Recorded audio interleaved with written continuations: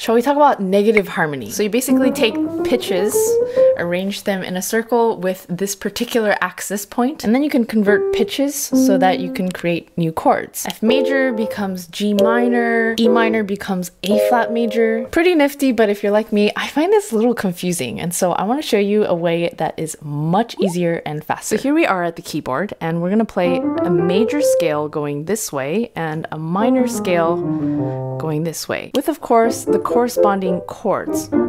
Just use this as a mirror point. So for example, if we want to convert the second chord to the right, which is a D minor chord in the key of C major, go backwards, and now we have B flat major.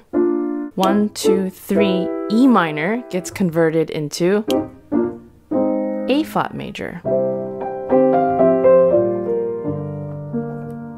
So you can just try it out, find different chords.